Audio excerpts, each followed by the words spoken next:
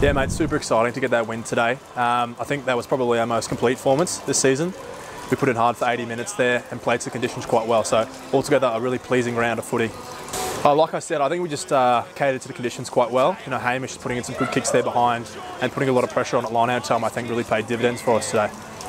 Mate, it's so good for Queensland Rugby. The, uh, the group of boys we've got this year and last year have been uh, a pleasure to work with. Um, and it's just a huge opportunity for us to try and go back to back uh, next weekend. So looking forward to it. Uh, obviously, you can see we started really well, so uh, you know the guys were clearly up for it and, uh, and really clinical in, in, finishing off with some early tries. But uh, the way we managed that game in the in the back end of that second half was really impressive.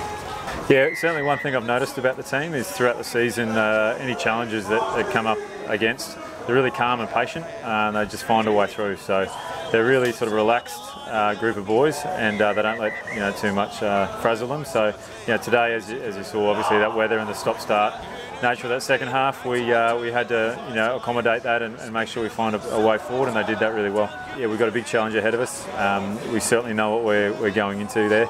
But, uh, but obviously the season we've tried to get ourselves in a position to be in, and play for this grand final and, and the guys are really looking forward to it. Yeah mate, it was awesome considering the conditions, it's storming out here.